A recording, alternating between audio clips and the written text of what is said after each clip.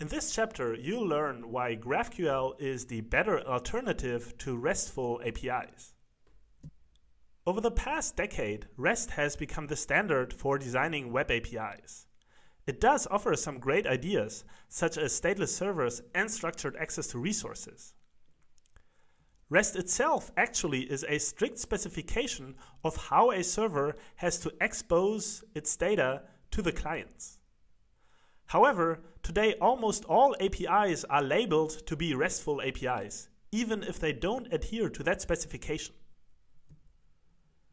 REST APIs have shown to be too inflexible to keep up with the rapidly changing requirements on the clients that access them. GraphQL was developed to cope with the need for more flexibility and efficiency in client-server interaction. It solves many of the shortcomings and inefficiencies that developers experience when interacting with REST APIs. To get a better feeling for the differences between GraphQL and REST, let's consider the example of a simple blogging application where we want to show a user's profile screen.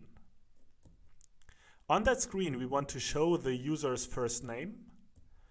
We also want to render the, all the posts that the user has ever created. And finally, we also want to display the last three followers because in our blogging app, it's possible to follow each other to see the news whenever a user publishes a new post. How would we tackle this particular screen with a REST API? In REST, we would typically have three different endpoints that would allow us to fetch the required data. The first endpoint is the user's ID endpoint, where we can obtain the information about one particular user that's identified by the ID that we are passing in the URL. Then we would also have a slash users slash ID slash posts endpoint that would return all the posts for a specific user. And finally, we also would have the slash users slash ID slash followers endpoint. And here we would get back all the followers of the user that's identified by the ID that we're passing in the URL. So let's walk through the flow that we would need inside the application to fetch all the data that we need to display the user's profile screen. The first step would be to fetch the data about the particular user. Here we would hit the slash users ID endpoint to get information about the user that's identified by a particular ID. The server would respond with all the information that it has currently stored about that user.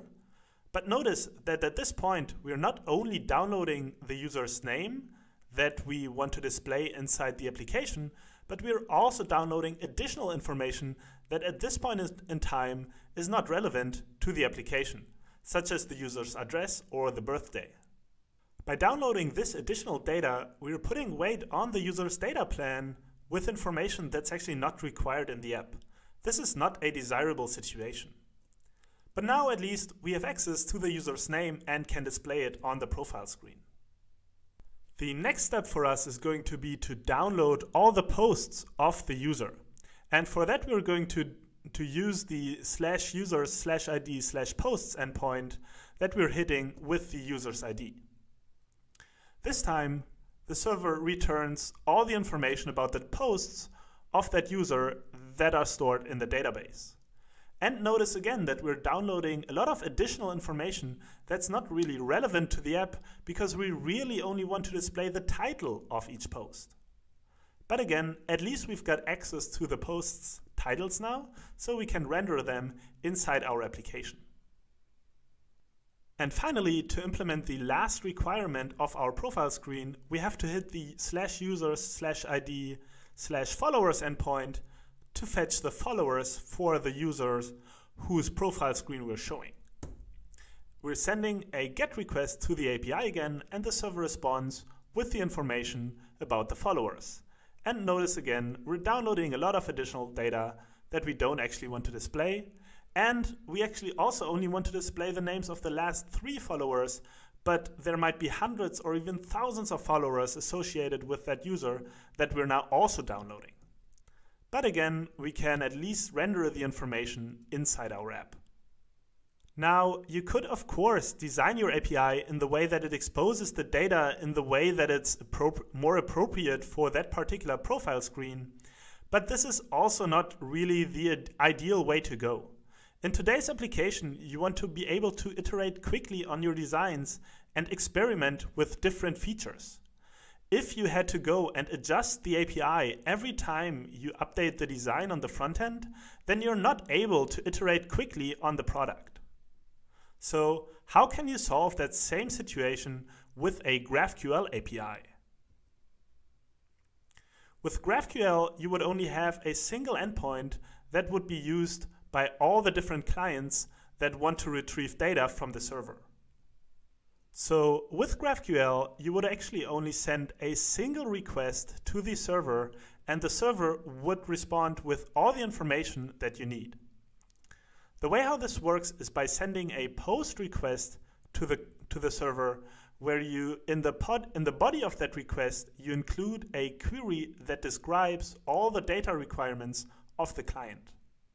So in this case, we're asking for the user with a particular ID, and then we can specify all the data that we want from that user.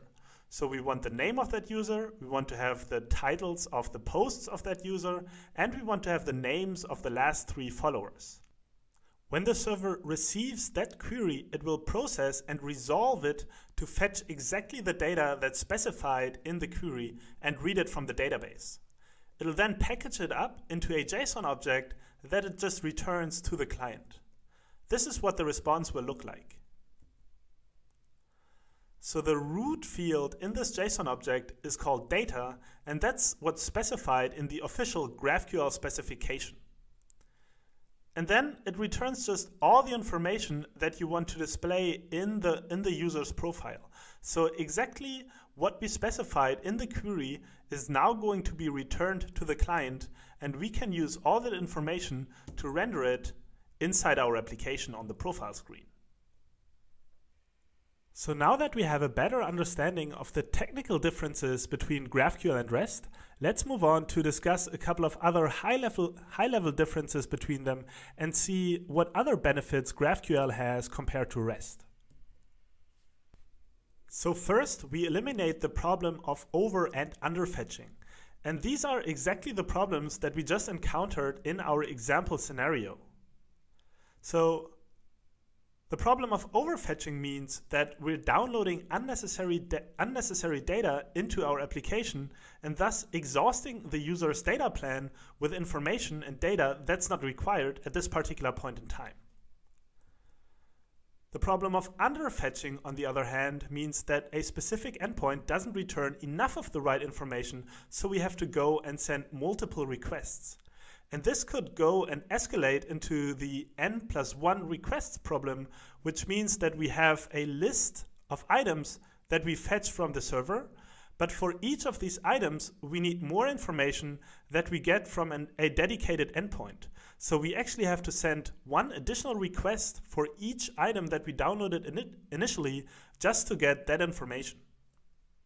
One way how we could have solved the problem of underfetching in our previous example would have been by exposing an API endpoint that returns exactly the data that was needed for the profile screen. This is a common pattern in REST APIs to structure the endpoints according to the views that you have inside your application. This is handy since it, allows for the client to get all required information for a particular view by simply accessing the corresponding endpoint. The major drawback of this approach, though, is that it doesn't allow for rapid product iterations on the front end. With every change that is made to the UI, there is a high risk that now there is more or less data required than before.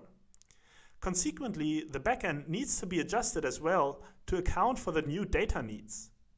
This kills productivity and notably slows down the ability to incorporate user feedback into a product. With GraphQL, this problem just doesn't exist anymore. Thanks to the flexible nature of GraphQL, changes on the client side can be made without any extra work on the server. This enables faster feedback cycles and product iterations. GraphQL allows to have fine-grained insights about the data that's requested on the backend. As each client specifies exactly what information it's interested in, it is possible to gain a deep understanding of how the available data is being used. This can, for example, help in evolving an API and deprecating specific fields that are not requested by any clients anymore. With GraphQL, you can also do low-level performance monitoring of the requests that are processed by your server.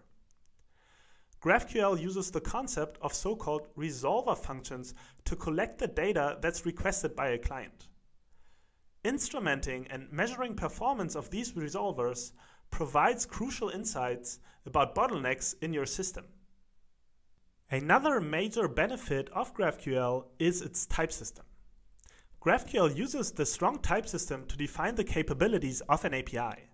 All the types that are exposed in an API are written down in a schema using the GraphQL schema definition language.